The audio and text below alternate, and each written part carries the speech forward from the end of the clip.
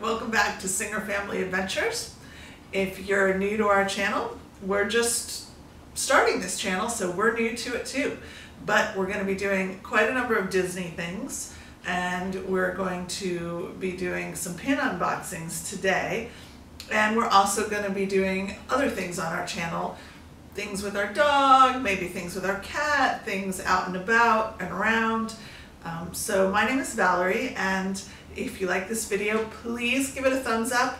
Write me a comment so that I know that you're here and we would love, love you to subscribe. I am already planning to start some giveaways of some things once we start hitting a significant number of subscribers.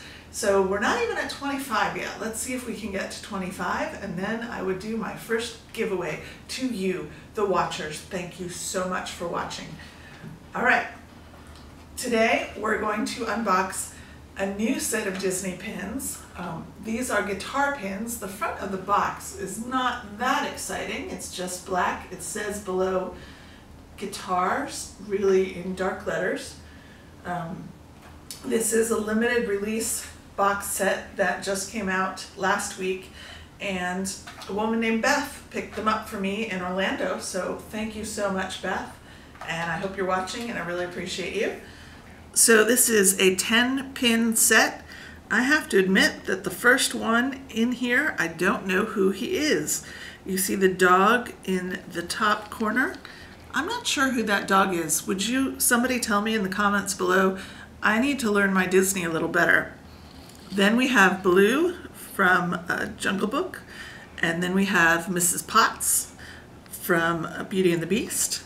We have Ariel, of course. We have the genie, um, the original genie, and we have Simba and Stitch. We are really rooting to get Stitch out of this pack because he is one of our favorites. Snow White, Pocahontas, and I believe that is Sleeping, is that Sleeping Beauty? Yes, Sleeping Beauty.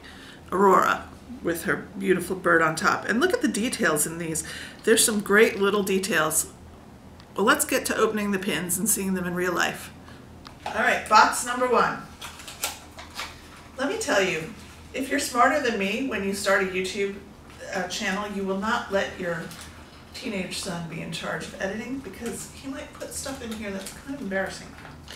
All right, so these might have been opened because we might have filmed this out of focus, but dun dun dun, you still get all the suspense. Pin number one is Mrs. Potts. And she is very pretty. She's got bubbles coming out of her teapot nose. And Lumiere is on there as well, and so is the Enchanted Rose. That's a beautiful pin. We're going to give you a close-up in a minute. And pin number two. Dun, dun, dun. is Baloo from the Jungle Book. And this is a really cool pin. He's got a green kind of jungly background and there's actually at the very top of the guitar um, there are bananas growing the way bananas grow, which for somebody who didn't grow up around banana trees looks upside down, but it's actually the way they grow. Super cool. All right, we'll give you a close-up of those.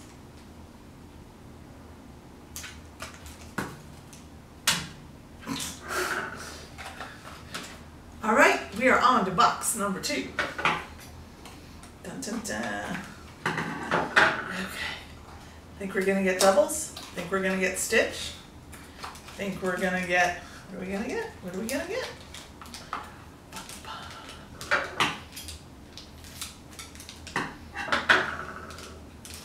Dun dun dun dun dun dun dun dun. Oh! We got Baloo again. Oh my goodness, doubles. Still, very cool pin. I've got traders. So uh, these are $20 a box for two of them. That they are limited release, which means they won't be made for too long. And it sounds like a lot. The rack pins, which are the ones that you go into a store and you see them on the rack as individual pins, they actually start at $9.99, so that's the cheapest rack pin. Um, so given that, this is about the same price as a rack pin. All right, let's see what we got here. Dun, dun, dun. Ooh, I got a double box. I got two boxes. I mean, I got a box that has two doubles from the last one. I got another Mrs. Potts. All right, so if you are collecting these and you want to trade for Baloo or Mrs. Potts, please leave me a comment below. I'd love to do some pin trading with you. That would be fun. Let's move on to box number three. Dun, dun, dun, dun, dun. No doubles, no doubles. Give me Stitch, please. Let's see.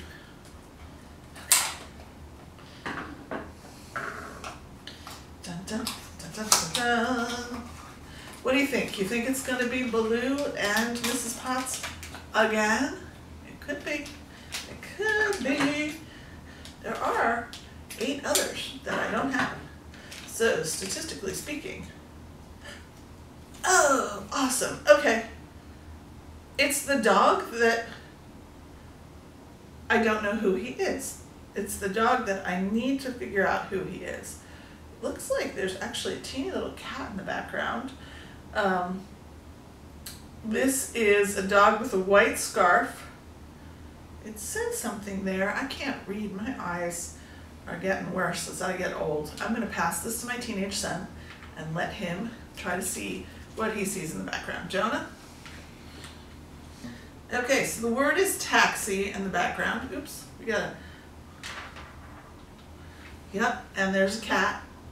I gotta figure out what movie this is and maybe watch it. All right, last pin. Last pin. No doubles, no doubles, no doubles. Dun, dun, dun. Oliver and Company. It's called Oliver and Company. Oliver and Company. Now I've heard of that. That's actually one of the pins that have come out. Um, I forget if it was the pop up or if it was the vintage vinyl. They had Oliver and Company as the movie for vintage vinyl for those pins um, this month. In case you're not sure what I'm talking about, Disney has certain series of pins that they do one each month for the year. This year there's a really cool one called Vintage Vinyl um, that's meant to look like little records and it slides out with the records. So I saw Oliver and Company as one of the records. I think it was that. And I thought, I don't know that movie. So we're going to be digging through Netflix and Amazon and see if we can watch it very soon. All right, last pin. Yay! What do you think, guys? It is Stitch. Stitch, Stitch. Yay! Okay, I know this is a guitar. Part of me wants this to be a ukulele, so, because Stitch is just rocking it on the ukulele. This is really beautiful. Yay! All right. So thank you so much for being with us for this. And again, we'd love you to subscribe. We would love you to give us a thumbs up. Um, let me know a little bit in the comments which pin you liked the best. Let me know if you've got any of these guitars or if you want to trade for Mrs. Potts or Baloo. I'd be happy. Um, all right, so I am really happy with these, even if they're a little smaller than I thought, and even if I did get a couple doubles. I will say that pin trading and pin collecting is super fun. It is also potentially a very expensive hobby and I'm learning about it rapidly. I've just started doing this in the past couple of months, so I'd like to give you a few tips that I've learned. First of all, the dangerous thing is that you don't have to go on a Disney cruise or to a Disney park or to a Disney store to buy some pins. You can actually buy them at home on your computer from a number of places. And um, that's a different experience because it's not linked to a vacation, it's not a souvenir, but it is a way to get pins even when you don't have the time or money to go all the way to Disney. Um, I've found that there are a few places to get them slightly cheaper. You can buy pins, not every pin out there available, but you can buy pins at the official Disney online store, which is Shop Disney. Um, there you're going to get the same real retail price that you would get in the parks. And then there's a few places where you can maybe find them a little cheaper than. So there are a few places to get pins a little cheaper than the main retail places. Uh, you can get pins online through the official Disney store, which is Shop Disney. They don't have all the pins available right now, but they do have quite a number. There you're paying the same retail prices that you'd be paying at the parks or in a Disney store at a mall, that sort of thing. And then you can also look on eBay. Um, eBay, you might find some scrapper fake pins that are for sale. It might be hard to tell. See if there's actually the back of the pin shown because that can tell you a lot depending on how the back of the pin looks. Um, but also on eBay, if you look for the sealed bags or you look for sealed boxes of mystery pins, if you're interested in buying mystery pins, the sealed ones are probably more likely to be authentic. Look for the word authentic as opposed to tradable because tradable just might mean that, hey, this is a good enough fake that you can trade it and no one's going to know. Um, on eBay, you tend to find the slightly older releases. These are actually limited release and they just came out last week. So they're on eBay already, but they're more expensive than if you ask somebody to pick them up in the parks for you. There are a couple other places on Facebook um, where you might find people who are able to do some discount trading. Um, there's one I found called Discount Disney Pins. That's a Facebook page. Take a look at it. Um, those are authentic and I'm not quite sure how everybody gets the authentic pins a little cheaper. Maybe they're buying in mass. I do know that if you're an annual pass holder, you're getting 20% off at the parks to begin with. So sometimes you can pass that 20% on to the next person or even sell it for 10% less and still make a slight profit. So there's a whole economy of Disney out there besides the actual official Disney economy. I did say on my very first video on here that you can buy sets of pins off of Amazon for about a dollar each, which you can do. You can get a block of 25 pins for $25, 50 pins for $50. Those are the ones that are most likely to be the fakes, and I have to confess that we bought a bunch of those. I took the ones I still had and I sorted through them and tried to figure out which ones were fake and which ones weren't. I don't know if I did a great job, but you know, if your kid just wants them for fun and you're not getting into official pin trading or you just want them for fun, then who cares if they're fakes, right? It's not like we're talking about something that's real gold or real silver. Um, it is it is enamel and metal, and so um, it's okay. You want them to look pretty. So I am trying to build my pin collection. I am trying not to go crazy and overboard because there's certainly many other things that I can and should be spending my money on. Um, but I'm learning ways to get things a little bit cheaper so that we can continue getting the pins that we really want as a family. We would really appreciate it if you would subscribe to our channel. We've got more coming up. We've got a trip to Chattanooga, a trip to the beach, some fun stuff like that that we will share with you and we really are trying to grow this teeny little channel so please go ahead and subscribe. When we hit 25 subscribers we're going to do our first giveaway. And if you're here give me a thumbs up. Let me know if you like it.